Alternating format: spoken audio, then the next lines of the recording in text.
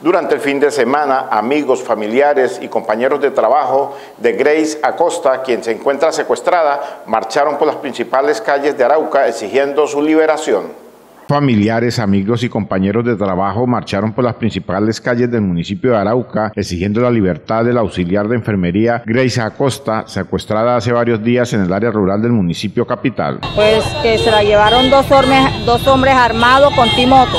Doña Miriam Peña, madre de la joven secuestrada, manifestó que se desconoce qué grupo al margen de la ley la tenga. Se desconoce quiénes fueron porque aún no sabemos quiénes fueron. Los familiares le hicieron un llamado a los captores para que le respeten la vida a Grace Acosta y la liberen lo más pronto posible.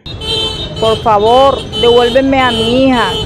tiene tres niños y la necesitan y es una persona muy trabajadora y muy buena porque tienen que detenerla. Por favor, suéltenmela suélteme a mi hija, suéltenla, que ella, necesita a sus hijos, los hijos lo necesitan a ella.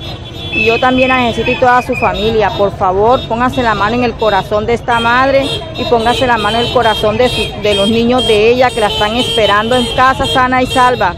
Esperamos que suelten a mi hija, por favor.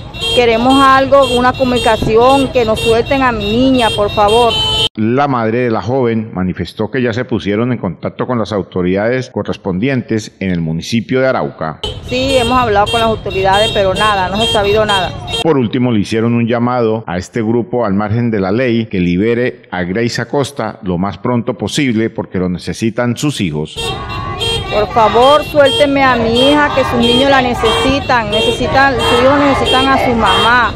Por favor, suéltenla, que ella es una niña muy buena, muy trabajadora, para que me la tengan allá. Suéltenme a mi hija, por favor, pónganse la mano en el corazón.